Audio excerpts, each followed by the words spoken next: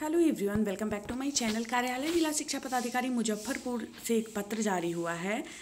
जिला शिक्षा पदाधिकारी के द्वारा सभी सॉरी प्रखंड शिक्षा पदाधिकारी पारू के नाम, पारू मुजफ्फरपुर।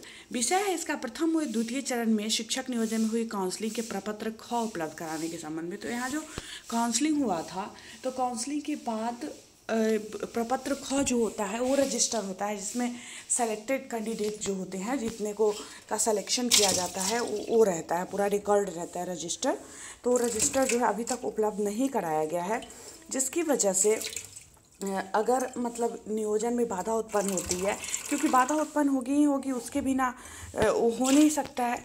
तो यहाँ पे दिया गया है कि उपर्युक्त विषय ज़िले ज़िले में वर्ग एक से पाँच एवं छः से आठ तक प्रथम चरण एवं द्वितीय चरण की हुई काउंसलिंग का प्रपत्र ख उपलब्ध कराने हेतु जिला नियोजन को कोषांग को विभिन्न पत्रांक दिनांक से निर्देश दिया गया था।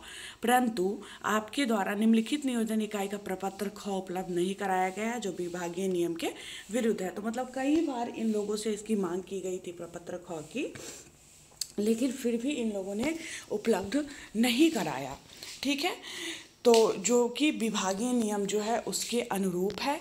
अतः जो पत्र जारी हुआ है, इस पत्र के बारे में बताया गया है कि इस पत्र प्राप्ति के 24 घंटे के अंदर द्वितीय चरण में हुई काउंसलिंग का प्रपत्र ख, उपलब्ध कराना सुनिश्चित करें।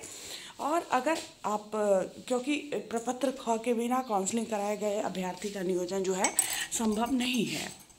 और जब तक इन लोगों का नियोजन नहीं होगा, फिर अगले चरण की काउंसलिंग मतलब जब तक इन लोगों का जो डॉक्यूमेंट वेरिफिकेशन वगैरह का काम चल रहा है, वो सब नहीं होने लगेगा, फिर तीसरे चरण की जो काउंसलिंग होने वाली है, सो नहीं होगी और इन लोगों का नियोजन भी संभव नहीं होगा। और पूरा ये कहा जा रहा है कि अगर इस पर किसी तरह की बाधा उत्पन्न होती है तो उसकी भी ज़िम्मेदारी आपकी होगी। इस आशय की सूचना निदेशालय को दे दी जाएगी और कहा जा रहा है कि अगर इसमें किसी भी तरह की कोई बाधा उत्पन्न हो रही है, उसकी ज़िम्मेदारी जो है, आपकी होगी। ठीक है? प्रखंड शिक्षक नियोजन इकाई पारू, वर्ग एक से पाँच और छः से आठ की सूची भी इसके साथ संलग्न होगा। तो मैं फिर मिलती हूँ आप लोगों से नेक्स्ट वीडियो में। एक नए अपडेट के साथ तो शिक्षक शिक्षा से रिलेटेड किसी भी न्यूज़ को देखना चाहते हैं तो आप चैनल को सब्सक्राइब कर लें, साथ में बेल आइकन को प्रेस कर लें, ताकि जब भी नया वीडियो आएगा नोटिफिकेशन सबसे पहले आपको मिलेगा।